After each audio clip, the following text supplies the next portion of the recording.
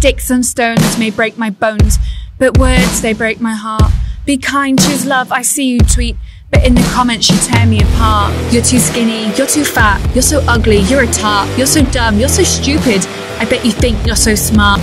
Be kind, it's free, you post online. Your page full of positive quotes. But behind the smiling selfies is someone much more cutthroat. Asking for the size of my neck to fit me for a slave collar and telling me I belong in the jungle. You're too opinionated, you're too quiet, you're too loud, you're just wrong, you're too gay, you're too black. Is there anywhere I belong? Be kind, just ignore them. What they want is a reply. They expect us to cry in silence. But how can I turn a blind eye? If you can't be kind online, be quiet. No piece for me off limits, they go in for the kill. You posted it online, their opinions are free will. Be kind, life's too short, we won't be here for long. In my inbox, you wish me dead. Perhaps you are not wrong.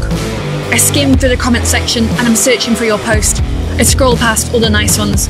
The mean ones, they matter most. Be kind once a day, but what about the rest?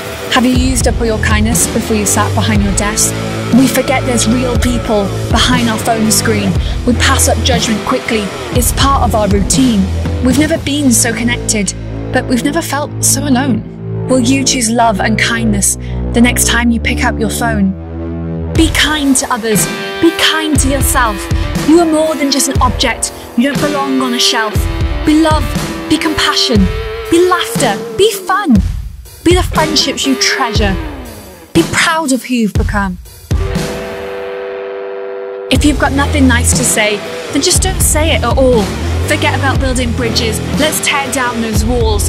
Be the change, be the trailblazers, be the start of something new. If not now, then when? If not then, then you.